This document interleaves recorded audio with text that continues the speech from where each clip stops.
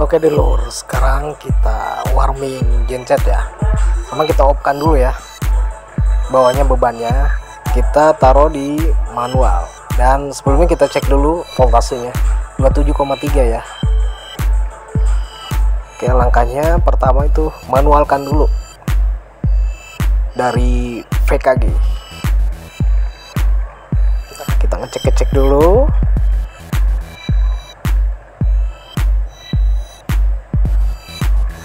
Nah, langkah berikutnya matikan dari power aki atau dari aki genset. Kita matikan dulu ya. Biar tidak power naik ke mesin genset. Kita matikan dari kabel jumperan dari aki itu. Nah, langkah selanjutnya kita ngecek air aki. Pastikan air aki itu penuh, terisi. Oke, full ya. Aki pertama full.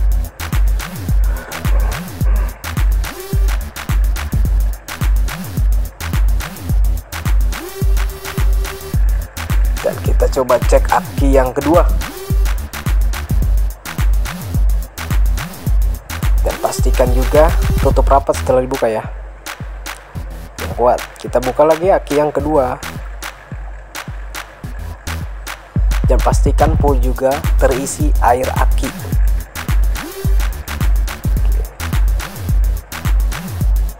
Oke keadaannya full oke. Dulur di PC channel pastikan lagi tertutup. Jangan lupa tertutup lagi setelah dibuka air akinya. Oke langsung saya naik lagi ke atas. Kita ngecek air radiator. Air radiator pastikan juga penuh terisi air radiator ya keadaan oke ya. Nah seperti ini air radiator di dalam radiator genset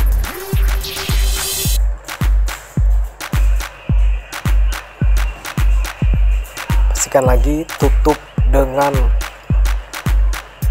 rapat. Oke langkah berikutnya lagi.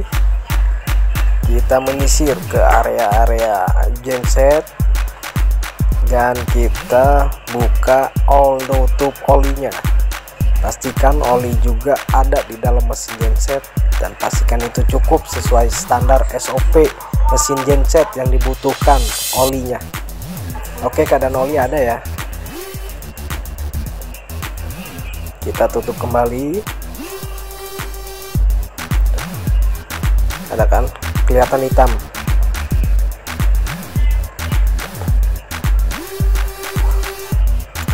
Nah ini nih bahan bakar nih solarnya nih. Pastikan itu full dan anda terisi solar.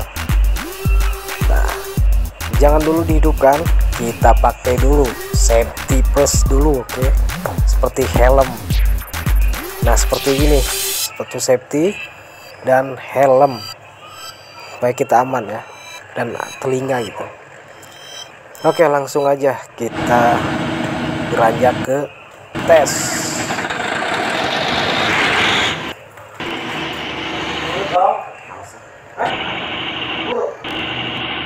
Oke dulu revisi channel terima kasih banyak sudah mengikuti setia menonton tahap demi tahap dari awal sampai akhir.